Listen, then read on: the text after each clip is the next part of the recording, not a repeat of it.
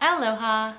Uh, my name is Amanda McCumbee. I am the committee chair for LAG's teacher uh, Keiki art program. Uh, basically what that means is I just coordinate uh, all the teachers, I get their schedules, I coordinate with the school and work out the schedule with them and then relay it over to all of my teachers.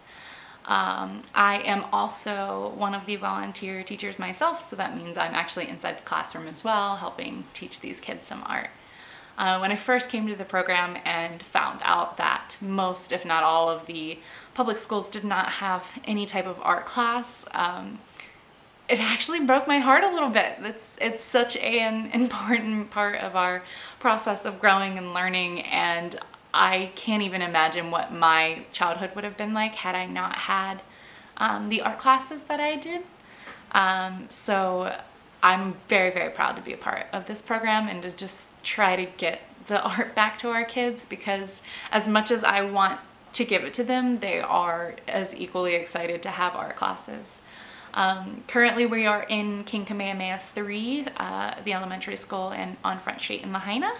Uh, conveniently, it's located right next door to our Lahaina Art Society gallery, so we are able to kind of utilize that space as well.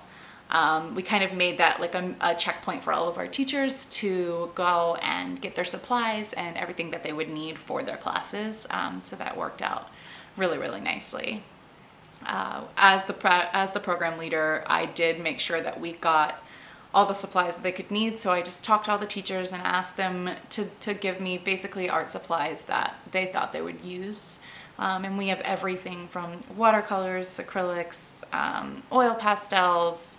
Uh, I mean, it's it's everything. There's literally any any artistic, and it's and it's not all the stuff that you would buy for your kids at home. It's actual artist quality um, things that we're using. So the paints that I use with my kids are the paints that I use to create paintings that I uh, hang in the gallery. So it's, it's a really fun way for them to get kind of a little more fancy feel for the art world.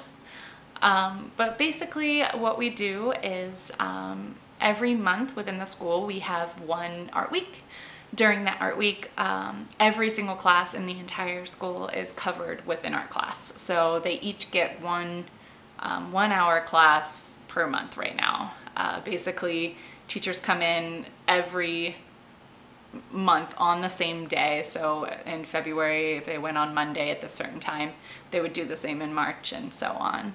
Um, that way they can kind of build a rapport with their kids and learn what their levels are and what they've already done and who, who likes to do what.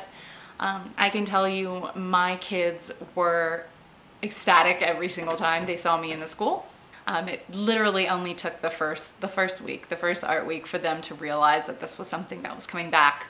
Um, and the moment they would see us walk onto campus, uh, they were very, very excited that they were having another art class that day and then ones that weren't getting it that day were very disappointed to learn that they had to wait until later in the week. Um, but from, I mean, the kids and even their classroom teachers were very, very grateful that we were there. Um, some of the teachers expressed that they tried to do art things with them because they also realize how important that part of learning for children is. Um, but they just, you know, not everyone has the ability to, to do an art project with a kid. And it sometimes comes out as just a coloring page or something and they don't really know what else to do. And I, I don't think it's fair for our schools to put that on our classroom teachers who are already covering so many things that I, I think this is something that really does grant a whole other person with a whole different point of view and, and a want and a will to, to do this with these kids. Um, I've done so many different things and it's all been very, very successful. Um, one of the projects I did was a, um, a lesson on warm and cool colors. Very, very simple. I basically talked to the kids about what warm and cool colors were. Um, we did like a quick lesson and we put the lists on the board so that we could remember later which one was which and then I had them trace their hand and draw an optical illusion using the warm and cool colors. Um, and they had so much fun. I, I was blown away about, uh, at how well they did with the project. Um, but also I made sure to use something that I didn't know if they had ever used before. So I used oil pastels. So rather than just using crayons or colored pencils or markers, um, I tried to take a new medium into them and they were hilarious. Um, because we had to talk about what oil pastel meant and then it also turned into a lesson on washing your hands at the end because oil and water do not mix so you have to use soap to get oil pastels off your hands. Um, but the kids had a really, really fantastic time. Um, and I even got, the next time I went in there, I had classes sending me thank you cards. Um, I don't know if they didn't realize that we would be back, but it was, it was just really, really sweet to see how excited they were to be able to, to do this. Um, I've also done things where I turned them into mini Picassos, where I've taught them about Picasso and Cubism and about how art doesn't have to be perfect. And we did a whole lesson on thinking outside of the box and doing things differently.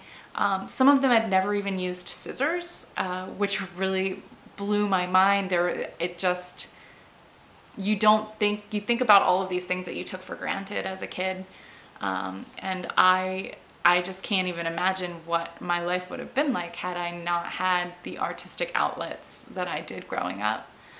Um, so as of now, King Kamehameha 3 is the only school we're in.